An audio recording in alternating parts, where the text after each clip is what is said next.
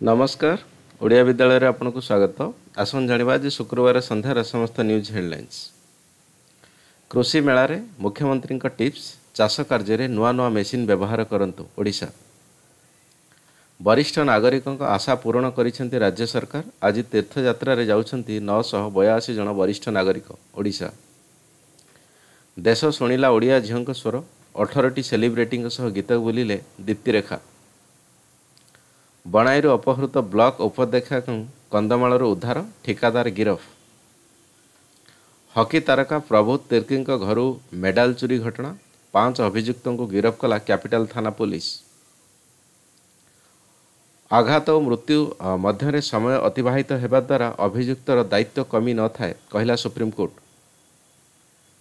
ଦେଶର ପୋଲିସ ବ୍ୟବସ୍ଥା ଭସୁଡ଼ି ପଡ଼ିଛି କହିଲେ ରାହୁଲ ଗାନ୍ଧୀ। ସୂର୍ଯ୍ୟଙ୍କ ଉପରେ ଗବେଷଣା କରିବ ଭାରତର ପ୍ରଥମ ସୌର ମିଶନ ଆଦିତ୍ୟ ଏଲ୍ ୱାନ୍। କିଭଳି କରିବେ ପରୀକ୍ଷାର ପ୍ରସ୍ତୁତି ତାର ଉପାୟ କହୁଛନ୍ତି ପ୍ରଧାନମନ୍ତ୍ରୀ ମୋଦି। ମୋରୁବି ସେତୁ ଭୁଷୁଡ଼ିବା ମାମଲା ଚାର୍ଜସିଟ୍ ଦାଖଲ କଲା ପୋଲିସ ଗୁଜରାଟ। ୟୁନିୟନ ବ୍ୟାଙ୍କରେ ଏସୁ ପାଇଁ ବାହାରିଲା ନିଯୁକ୍ତି। କୋଷ୍ଟଗାର୍ଡ଼ରେ ଦୁଇଶହ ପଞ୍ଚାବନ ପଦବୀ ଖାଲି ବାରଶହ ଟୁଏଲ୍ଭ ପାସ୍ କରିଥିଲେ କରିପାରିବେ ଆବେଦନ। କାଙ୍ଗାଳ ହେଉଛି ପାକିସ୍ତାନ ଡଲାର ତୁଳନାରେ ସର୍ବନିମ୍ନ ସ୍ତରରେ ପାକିସ୍ତାନୀ ଟଙ୍କା। ଭେତେରାନ୍ ଦକ୍ଷିଣ ଭାରତୀୟ ଅଭିନେତ୍ରୀ ଯମୁନା ହାଇଦ୍ରାବାଦ ସ୍ଥିତ ତାଙ୍କ ବାସଭବନରେ ଶେଷ ନିଶ୍ୱାସ ତ୍ୟାଗ କରିଛନ୍ତି। ଜ୍ୟାକ୍ଲିନ୍କୁ ମିଳିଲା ବଡ଼ ଆଶ୍ୱସ୍ତି ଦୁବାଇ ଯିବା ପାଇଁ କୋର୍ଟରୁ ମିଳିଲା ଅନୁମତି। ଫିଲ୍ମ ପଠାନର ଜବରଦସ୍ତ ପ୍ରଦର୍ଶନ କରିଛି ଦୁଇ ଦିନରେ ଶହେ କୋଟି ଆୟ। ଦୀର୍ଘ ବାଇଶ ବର୍ଷ ପରେ ଆସୁଛି ଗଦର ଏକ ପ୍ରେମ କଥା। ପୁଣି ତାରା ସିଂ ଭୂମିକାରେ ସନି ଦେଓଲ।